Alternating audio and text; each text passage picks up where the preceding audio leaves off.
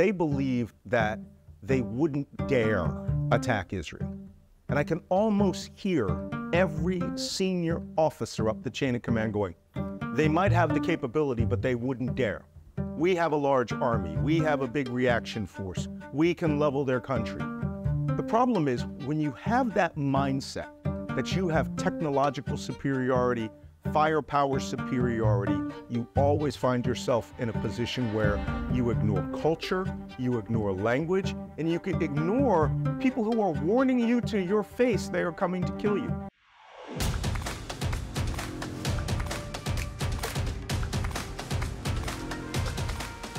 This is a Visegrad 24 series about the Israel-Hamas war. We're here with Malcolm Nance, global counterterrorism expert, former US uh, intelligence officer, uh, New York Times bestseller, and uh, Ukrainian legionnaire. Uh, welcome. It's my pleasure to be here. It seems that you go from conflict to conflict. And how long has this been going on for? For about 40 years, to be quite honest. Um, you know, we find I find myself in Israel right now, here to study uh, the October 7th massacre and then the subsequent Israeli Hamas war, which is, is going on. But I started out at age 19 in Beirut, Lebanon in 1983.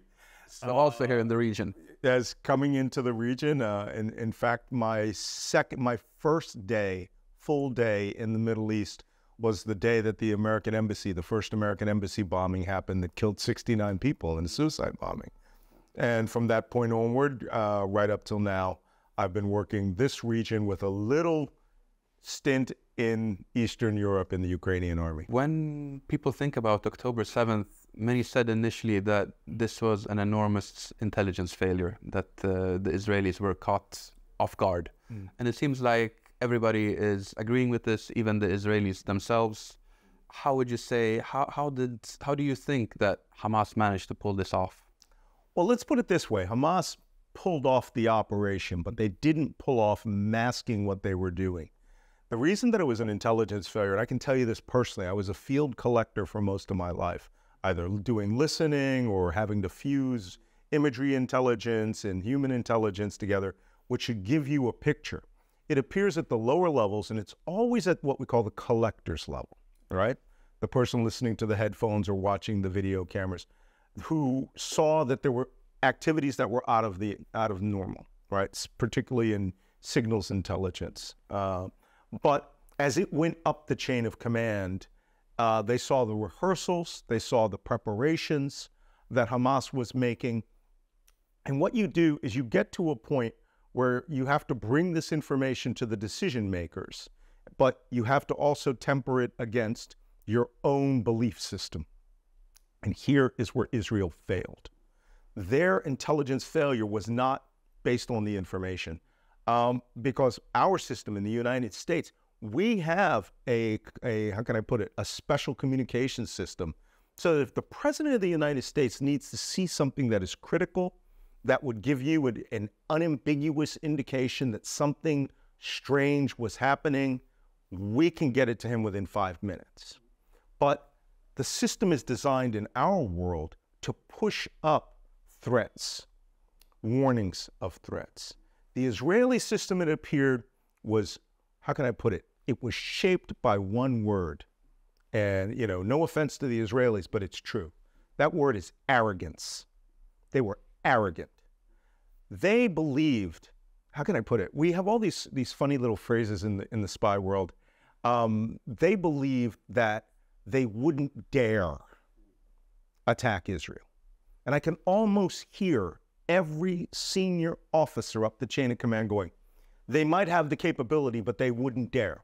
We have a large army. We have a big reaction force. We can level their country. The problem is when you have that mindset that you have technological superiority, firepower superiority, you always find yourself in a position where you ignore culture, you ignore language, and you can ignore people who are warning you to your face they are coming to kill you. I've actually seen this happen in the U.S. intelligence community in places that we, you know, where we were fighting, where you can give them all the the, the, the raw intentions of your enemy and straight up warnings where I would always run into one officer who would say, Well, they're not going to do that. Don't they know we're the United States? When you hit that wall, if there isn't a policy bypass on arrogance or the they wouldn't dare attitude, then you're going to get stuck with what happened to Israel, which is Hamas watched carefully. They studied their enemy. They had 15,000 guest workers going in and out of Israel every day. They spent years developing an underground tunnel network instead of building protections for its citizens so that they could carry out this very operation. But before they can carry out this operation, they have to come up with a plan. What is their strategic goal?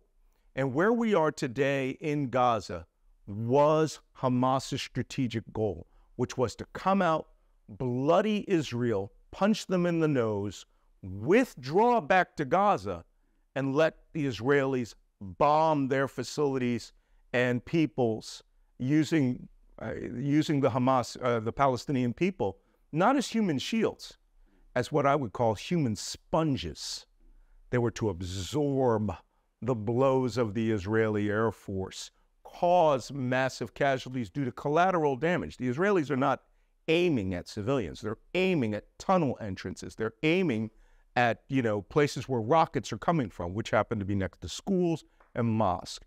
So Israel's own arrogance allowed them to follow Hamas's plan on what Hamas wanted to do, and unfortunately caused them this pogrom of 1,200 Israeli citizens. A part of intelligence gathering is also assessing what the war goals are of the other side. Mm. So you clearly stated here that um, for Hamas, civilian casualties is actually something that they want. Right. Uh, what type of reaction is it that they want from other countries? Because it seems that they are trying to rile up the Arab street, so to say, uh, and topple these often authoritarian regimes, but regimes which don't really care about the Palestinian issue. They are rather more issued on self-preservation and keeping themselves in power. Uh, is this an assessment that is more or less correct? Yeah, that is correct. However, this is where Hamas's arrogance comes and plays into it. I mean, you're looking at two sides that have some capability, and we would call that asymmetric, right? Hamas's capability was two men riding on motor scooters or in pickup trucks going into Israel, breaching the wall on a holiday, and then killing every individual they, they encountered man, woman, child, Christian, Muslim, Druze, Buddhist, right? Israel's asymmetric response was overwhelming firepower. But what was Hamas's strategic goal? Their goal was to penetrate Israel. That's a tactical goal.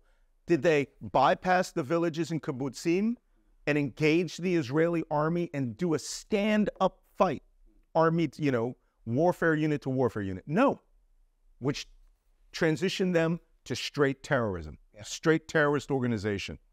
Then they withdrew back to their tunnel network with the goal of bringing the Israelis in quickly. And this is where the United States assisted because the Secretary of Defense, uh, we brought in experts who had fought in Mosul, Fallujah, Tikrit, Raqqa, and told the Israelis, slow this down. Do not go in. They want you to go in. They're ready for you, right? They want a little mini Gaza, uh, Stalingrad. So by slowing it down, the Israelis shaping the battlefield over almost three weeks, uh, they defeated Hamas's goals and then were able to penetrate and surround Gaza. The problem is Hamas's number one goal is precisely what you said. The entire invasion of Israel, because that's what it was, was designed to get the Muslim world to do what? to do 1967, 1973. They failed to understand no Muslim leader was coming to their aid. Hezbollah sold them out in the first days. Iran, within the first week, said we weren't told. His Nasrallah in Lebanon said we weren't told. The, the, the, the Syrian government wasn't told. Who exactly was going to come to your assistance? Now, Hamas is in a war for its own survival, and it will not survive because Israel must eliminate them militarily at the very least. For them to, you know, to have any measure of security. If we look long term, there there is a debate what Israel should do once the IDF has full control of the Gaza Strip. Should they administer it themselves for some time? Should they hand it over to the Palestinian Authority, uh, some other Palestinian group which is supported by Saudi Arabia and Qatar? What do you think? What is most likely, and what do you think would be the best solution? Well, I'll tell you right now, the worst solution would be for Israel to to to try to administer itself. Israel's going to have to go at some point, and it hasn't happened yet, from full scale warfighting. And this is where I think people are really confused. I've been around a lot of wars. I just participated in a major war fighting Russia. Um, look, what Israel is fighting right now, what they've been doing over 100 days, has been full scale war. This is not a counterinsurgency war where you can roll into a village and d- deploy your tanks and then get shot at by one guy. Every minute of every day of the last 100 some odd days, the Israeli army has been engaged in full scale combat. People don't seem to understand. Hamas had a 30,000 man terror force fully stocked with weapons smuggled from Iran, North Korea, and other countries, and Israel is now fighting them. I believe the They've lost over 150 soldiers in ground combat in the last 100 days alone. That's a lot for this country. But people seem to think that it's just a one sided war. Hamas is sitting still, civilians are sitting there, and Israel's bombing them. That's not what's happening. This is door to door, street to street, man to man, individual combat. And for Hamas to have been fighting this long through an underground network of tunnels, and Israel having to use a large portion of its overwhelming force uh, just shows you the intensity of one, how deep Hamas dug itself in, and two, how they have to operate within a civilian population in an area that's only 40 kilometers long by, I think, I believe, six or eight kilometers deep, that's built up to 10 to 20 stories of urban of urban setting. No one has fought in this kind of terrain since World War II. And this is the only way to take terrain. You can't take it from the air, so you have to but go you can't this is- administer this, yeah, yeah. right? It's Mm. not like Israel's going to be able to do that. So there's going to have to be some rapprochement. Uh, and then the political solution is going to have to come in. Whether Israel chooses this policy of breaking them up to tribes, which, by the way, was an American strategy, which was successful after the battle of the Second Battle of Fallujah, in which we allowed the tribal chiefs to increase their power, decentralize the terrorist power by giving them the food, giving them the money, giving them the weapons to create their own uh, defense forces. Israel's not going to do that, right? No one's ever going to have a weapon there again. But to feed the population, to remove control from the Hamas military wing, which will be difficult because they're overwhelmingly supported. Uh, but now it's time to bring the Gulf states in. But the only way that you're going to be able to get any kind of support from the Arab world is there's going to have to be a two state solution put on the table. Uh, apart from the audience that uh, was in the Middle East, the so-called Arab street, um, there is also the audience in Europe and the U.S. Uh, we know, for example, that the Vietnam War, in many ways, the American army wasn't defeated in any way. Uh, you had the Tet Offensive that was a media blow, you could say, because quickly the Americans they got a hold of the situation. But the images that were rolling on, on television back in the U.S it, it really broke the will to fight among a large percentage of the people. Sure. Um, the images that are now being seen on TVs and smartphones in the US and, and Europe, uh, is there a risk that America could in the future remove its support from Israel? I mean, if we look at college campuses, it looks like the young generation is definitely not on the Israeli side in this conflict. First off, college campuses do not represent the American electorate or the opinion of the United States. The American opinion is overwhelmingly in support of Israel. You know, there's a what's happening now is that there's a generational shift. I, I believe there was a, a poll about six weeks ago which showed 18 to 34 percent, 18 to 34 year old Americans were 57 percent in believing that the attacks of October 7th were justified. And that shows to me, I mean, I've, I've been at this game for, for decades now. That shows to me that there's a level of ignorance amongst that body of people on two levels. First, historical, because people who are above the age of 34, mainly 45 to 75 in the United States, they remember World War II, which their parents fought in. They understood the context of the Holocaust. They understood the context of the creation of Israel and how Israel survived multiple invasions and wars with the Arab states and defeated everyone who attacked them or who they were engaged in conflict with, with the slight exception of Lebanon, right? With Hezbollah in Lebanon. So the American youth who are making these opinions, my personal opinion, they're the most uninformed people I've ever seen. They're getting their information from 30 second TikTok videos, which are straight up propaganda and lies. I've got American kids today in Columbia University in New York supporting the Ansar Allah terrorist group in Yemen, one of the most repressive groups in the world who do not believe in gay or lesbian rights or women's rights. They make child soldiers and they are firing Iranian backed, you know, they're Iranian backed Shia militia that are firing anti ship missiles and ballistic missiles. They can't even feed their own mothers. So we've got kids in the United States going, oh, yeah, Yemen striking back in America. 75% of the United States backs Israel because we understand one, this is a vibrant democracy. And here's something that I have a hard time explaining to my people of color uh, youth in my country. This is a very brown country. This is not a country of the image they believe of white Europeans running this place. The Mizrahi, 80% of Israelis come from, are from the diaspora from the Arab world, whether they were Iraqi. I met Iraqi uh, Jews myself out in Fallujah. I met, which is, by the way, a historic center of Jewish learning at the time of Christ. Um, I've met well, the huge population in Morocco, most of whom are, are here in this country. Yemeni Jews are famous.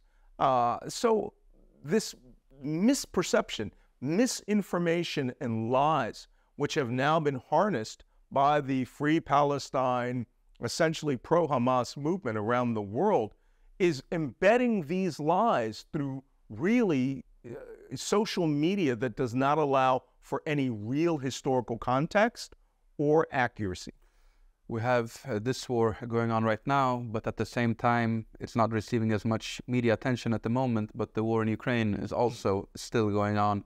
Uh, how would you say that these two wars uh, affect each other, or rather, do they play into some grander scheme? Because there are these speculations that this is all very beneficial to Russia, and at the same time, Iran is could be some form of middleman between Russia and Hamas. Of course, there's always China lurking in the background, just hoping for any type of mistake that will allow them to try to um, get primacy on the world stage. Yeah. Uh, how do you think? How does this war fit the larger geopolitical picture in the world? Well, it's it's now you see it's become a center point of how nations are viewing each other, and it's created a lot of animosity. Uh, Russia, look, say what you will about Vladimir Putin, but he was an ex-KGB officer. You know, when I was doing my fourth book about Donald Trump and his relationships with Russia, I went to Vladimir Putin's office in Dresden where he worked and sat there. This guy was a pure intelligence officer. He was about manipulating people. His other peers just wanted to live in East Germany and drink beer. Putin loves the art of manipulation. He was losing badly geopolitically in Ukraine, just as badly as he's losing his army. And his army is virtually broken in Ukraine. He has no combat capacity left. He's essentially throwing meat attacks of human waves at the Ukrainian army who are destroying them with drones.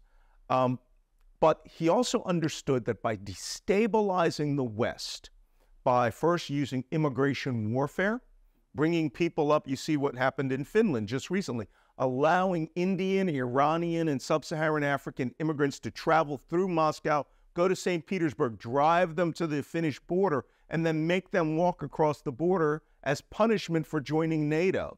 Uh, he saw that that was successful when Turkey did it by flooding Europe with a million Syrian refugees. So now that's a weapon that he harnesses. Uh, but he also uses destabilization with his militia, PMC Wagner, throughout the North Africa and the Sahel region, We saw that there were photographs of PMC Wagner trainers operating with Hamas over the last year. Uh, but more importantly, this relationship with Iran, by who is giving him advanced ballistic missile systems, drone systems, technology to strike Ukraine. Iran directly supports Hezbollah, Hamas, and Yemen as the circle of the Shia crescent around Israel. By doing this and allowing Israel to do what they do, their propaganda systems were primed and ready to influence the United States in the current U.S. elections. They have a presidential candidate who is willing to turn off all aid to Ukraine and destroy NATO, but who would also, on the other hand, encourage any Israeli government to essentially clear and wipe out Gaza. All of this destabilizes the norms that have been set since World War II, and Russia knows it. But e even now, we have a situation in which both Ukraine aid and Israel aid is not able to pass through Congress. Uh, what is uh, the reason for, for the current situation? Well, I'm going to, there's only two words to explain it Donald Trump. Donald Trump, however, in whatever way that he's beholden to Russia, again, I've written four books about Donald Trump's relationships with Putin, the KGB. You know, I mean, he, he was under KGB surveillance as early as 1977. His second wife's father reported on him to the KGB through the Czech STB intelligence agency for years. For years. They understand how he thinks. Also, Trump has this relationship with Putin, which no one can figure out. Why is such a subordinate, submissive relationship to the point where he was ready to dismantle NATO as president of the United States, which would be Putin's greatest gift. More importantly, Trump says because the uh, Vladimir Zelensky did not carry out a false investigation of Joe Biden. Trump was impeached for that the second time. He now hates Ukraine, hates Zelensky, and if he could cut off every dollar, he would. The Republican Party does what he says. The Republican Party, though, is running Congress with one, one vote. And I think that Ukraine will get funded. I think that there may be, in fact, an opportunity to flip the Congress back to the control of the Democrats and get things passed there. So, uh, same thing with the support for Israel. You have to understand the conservatives in the United States, the hardliners who are really military forward, anti Russia, anti Soviet Union, pro Israel, you know, anti terrorist, have turned into a party that will do whatever Donald Trump says. Yeah, it's not the foreign policy of the 1980s, that's, that's for sure. Or the 60s. yeah. Uh, if we return to counterterrorism, uh, a large problem for the IDF is the fact that you still have more than 100 hostages that are in Gaza at the moment. Uh, what do you believe? What are the main problems that the IDF has in connection with this? Okay. Um, you know, the funny thing is, when I was in the U.S. Armed Forces, I ran a military hostage survival school uh, where we would train special operations soldiers that could be captured uh, by uh, terrorist groups, Al Qaeda, what would later become ISIS, how to behave in captivity. And but one of the factors that you have to uh, introduce them to is the possibility that you may be in captivity for a period of time because the fastest way to recover you or rescue you is to win the war. The IDF can only do so much. I mean, they are in a street to street war with what Hamas says is 500 kilometers of tunnels underneath it, going from end to end throughout Gaza. People may be held down there, People may be being shuttled around.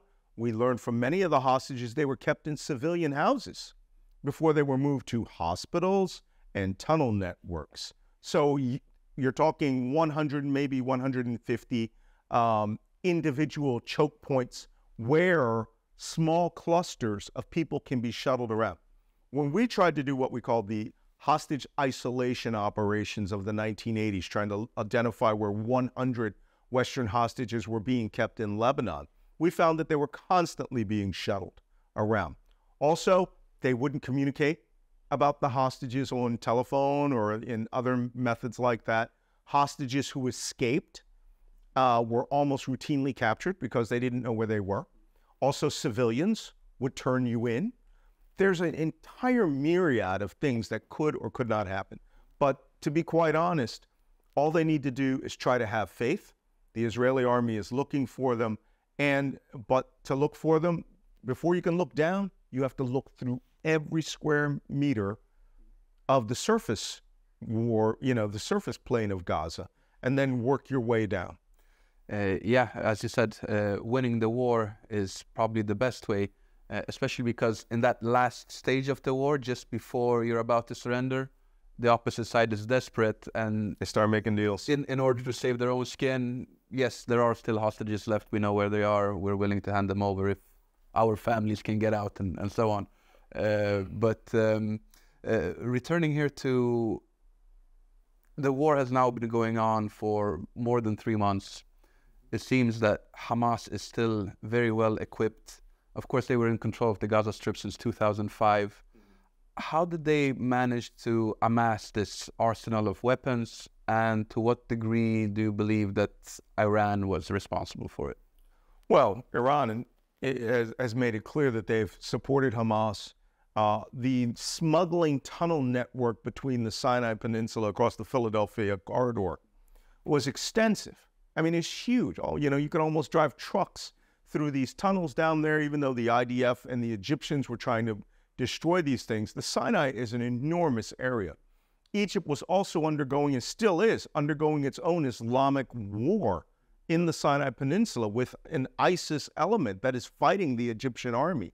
Weapons, I saw when I was doing studies of the Egyptian war in the Sinai, we saw weapons that when I was in Libya in 2011 were quietly flowing across Egypt and going across the Sinai and then showing up inside of Hamas's tunnel systems. Smuggling is very profitable, especially when you're talking about a population that's 2.2 million. You're talking about free Iranian money, which will flow. You know, as we have this little joke in the intelligence community, I'm going to start putting gold on the table and you tell me when it's too heavy for you to carry. That's your price. There is enough money out there to where Hamas, Palestinian Islamic Jihad, groups like that, which Iran backs, can get the resources that it needs when the money is good enough. Israel cannot intervene until it, of course, crosses that Egyptian border. Speaking about the Sinai Peninsula, um, this Islamist uh, insurgency um, that has been going on over there, it was really strengthened after 2011 with the Arab Spring and mm. when Mohammed Morsi came to power and later was overthrown by the military. Mm. Um, and these radical elements of the Muslim Brotherhood also moved to the Sinai Peninsula and with time merged with, with ISIS. Right. Um, but we should also remember about the connection between Hamas and the Muslim Brotherhood because originally they were an offshoot, you could say, of the Egyptian Muslim Brotherhood. And also, this is probably something that people marching at these college campuses in the US don't realize that uh, Hamas is not some form of liberation movement. They are also an Islamist uh, terrorist organization. But the, the Islamist component is also not to be ignored. So, how, how do they relate to other Islamist groups in the region? It's fascinating because what you're talking about, if you recall back what we used to call the good old bad days of terrorism, Palestinian terrorism, right?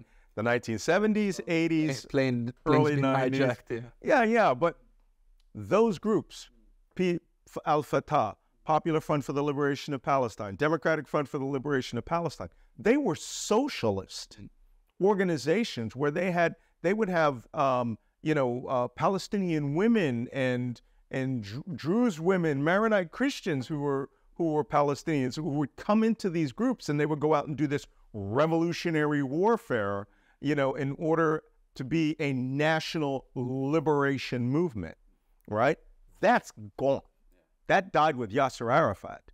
Um, as you said, the influence of the Muslim Brotherhood and the rise of the pan Islamic movement, uh, which is fascinating because Hamas is generally a Sunni Muslim organization, but their money comes from a Shia nation that in any other circumstance would have wiped them out, right? But they are the closest to Israel proper, right? As opposed to Hezbollah being in Lebanon, the ones who can really reach out and touch. So, as the pan Islamist movement, whether it's Shia, radical Shia Islam, radical Sunni Islam, uh, you know, Sunni jihadism, as we saw with ISIS, Al Qaeda, uh, has really just wiped away that nationalism. Their idea of nationalism, if you read the Hamas charter, it is not about regaining Palestine as just a Palestinian homeland. Yeah, it's not mentioned about, anywhere. No, it's about cleansing what, you know, is now modern Israel for Islam.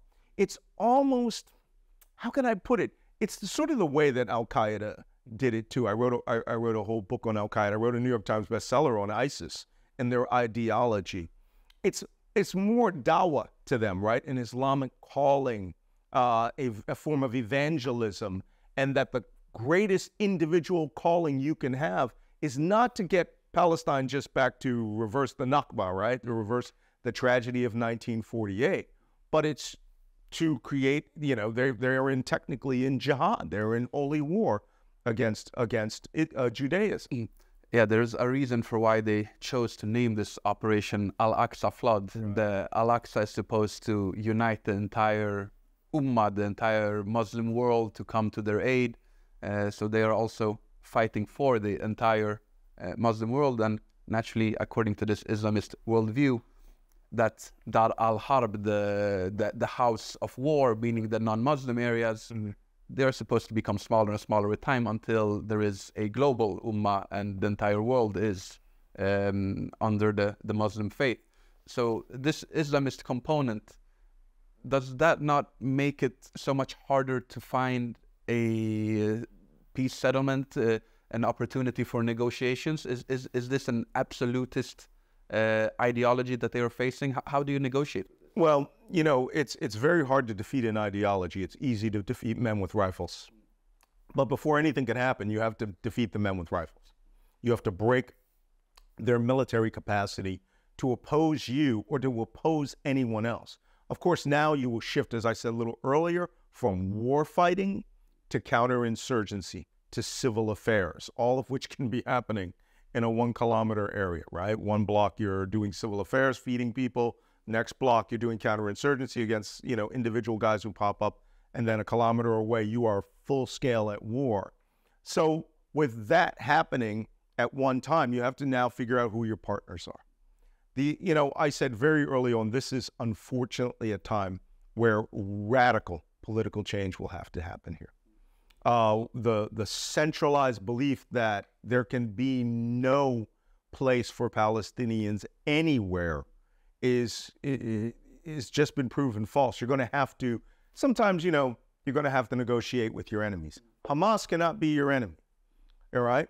The biggest strategic mistake I think that Israel has made was we're trying to was how can I put it? Isolating Yasser Arafat simply because of what Yasser Arafat did in the 60s and 70s and 80s. But when Arafat became the head of, you know, Fatah moved and transitioned to the Palestinian Authority, okay, the key move should have been to strengthen them, not to split them. And by allowing Hamas, a terrorist group, to actually win an election and rise and slaughter the Palestinian Authority, and you sit back and you think, wow, that was for the Munich Olympics. Now what you've done is you created another monster, and it's it, it's as you said, there's an Islamic component now. Pan nationalism, Palestinian nationalism was something you could deal with. Now we're talking about nationalism based on a Salafist jihad. Uh, I think it's going to be much harder. But you, you know, the Palestinian people are going to have to make some hard decisions for themselves.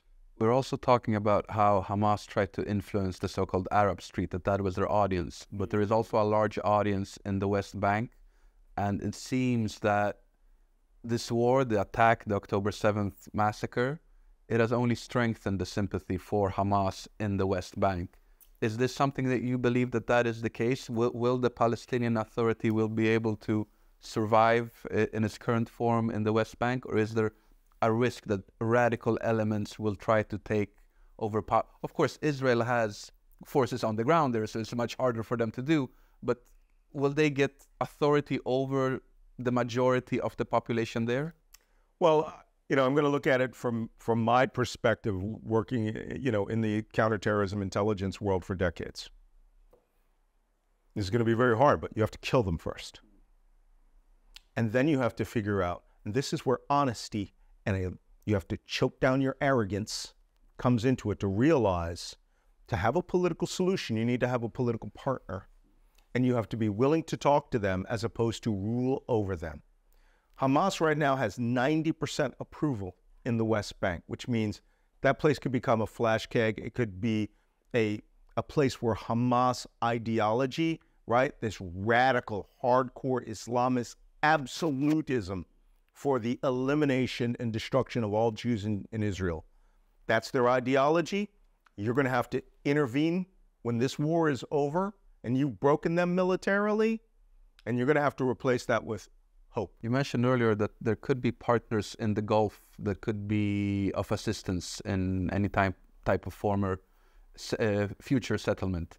Uh, who in the Gulf do you think would be the best partner? Because it seems that Israel is still very willing to continue their uh, normalization with uh, Saudi Arabia, but the relations with Qatar are slightly worse. Uh, where do you think that the chances are? I don't think the relations with Qatar are as bad as people think. Qatar is always, Qatar chose to be the intermediary nation of the Gulf states. And they allowed both sides to have a, a, a home. I mean, we have the largest military base in the Middle East, Al Udeid Air Base, you know, Al Udeid Air Base in Qatar. And at the same time, they have the headquarters of Hamas, right? Uh, the leadership living down there in uh, Taliban were negotiating. The Taliban were living there and negotiating there. This is where Qatar has decided they want to be the interoculars of the Muslim world, and we should let them continue that mission. The question is, who can enforce anything on the ground? Can it be the Saudis? The Saudis don't want to go back on the ground. They were just in Yemen and failed in a seven-year, eight-year war in trying to intervene on their own borders when their own country was being bombarded with missiles by Iran. The Saudis are looking eastward. Iran is their biggest issue. The United Arab Emirates, rich, a lot of money. They rebuilt Beirut after it was completely leveled, right? But do they want to take over the care and feeding of a 2.2 million person population, right? That's as big as the population of the Emirates right now with all the expats. Um, you know, is it going to be a pan Arab pool of money? Well, that existed already and Hamas used it to build the biggest tunnel network there. So I think the real big issue of what happens on the day after Hamas ends, right? Uh, whether you're going to, I mean, the infrastructure is gone, the administration is gone, uh, other than their propaganda ministry. Uh, once Hamas's military force is gone, new groups and structures will have to be built. However, let's be honest, the first leaders are taking their lives into their hands because anyone that will assist the Israelis is going to be seen as an enemy. Uh, a final question here. Um, another front of the war, you could say, is the Red Sea. Mm. And now recently we have UK and American airstrikes. Uh, there are some speculations that there, has there have also been Israeli airstrikes recently. Uh, where do you think that the situation with, with Yemen is going? Will there be more engagement uh, in Yemen? Will this develop into a larger uh, conflict? I don't, I don't know if it'll develop into a larger conflict, but I think we're going to see small scale strikes from the United States and its allies because one quarter of the Earth's shipping was going through the Suez Canal and is now being forced to go around, you know, South Africa. And that disrupted uh, global supply chains. It raised the prices of things and it allowed essentially an Iranian backed terrorist group to dictate what happens in the Red Sea in the Bab el Mandab waterway.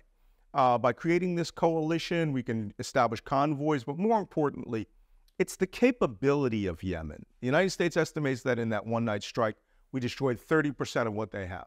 Now, if Yemen wants to show that they still have the capacity, that requires them to bring their anti ship missiles out of their caves or storage facilities which will allow us to strike them again. Once that capability is gone, um, and it would have to be to restore it, it would have to come directly from Iran by ship, which is how it was coming before. Uh, we will then have the ability to remove them and bring them down to small fishing boats, which I think is easily manageable. Apparently, a few days ago, uh, there was such an attempt with a vessel going from Iran heading for Yemen, and American Navy SEALs were trying to board it. And unfortunately, one of them fell overboard. A second one jumped in after him, and they're still looking for them. Um, so it seems that the Iranians are still, even in this very moment, trying to resupply the uh, the Houthis in in Yemen. Um, do we need more ships in the region to be able to form some some form of iron ring to make sure that these Iranian ships can't can slip through? Well, I mean, we've been doing interdiction in the high seas down in the Bab el Mandab waterway for decades, uh, trying to find Iranian, North Korean weapons, things that we had seen being transshipped to the uh, to the Houthi terrorists. I think it'll have to be increased. Germany's now sending a frigate. The French will probably get involved on a much broader scale. But I think some messages are going to have to be sent to Iran. You have to understand, they also had a command and control ship down there, right? The Saviz uh, and the Behshad. They're two vessels that they were parking right off of Yemen to do intelligence collection, to help the Houthis target merchant vessels. That ship is now moved out of the area. Um, but, you know, that ship is seen as a threat to Israel more than to the United States. As these merchant ships try to come from Iran, transship weapons, I think a demonstration will eventually have to be made. And usually that will, you know, normally we take those weapons and uh, we distribute them, you know, ship them to Ukraine, which would be great for us. But some we're going to be bringing ballistic missiles and things like that. We're going to have to, you know, likely board, seize, and destroy. Well, it seems we still have at least a couple of months ahead of us before uh, the Gaza Strip has been freed of Hamas hopefully that will be end of this and there won't be an escalation with more fighting in uh, northern Israel or rather southern Lebanon. Um, but uh, I think we'll have to return to the topic and see how things develop and come back to it. Thank you very much for being with us today. My pleasure.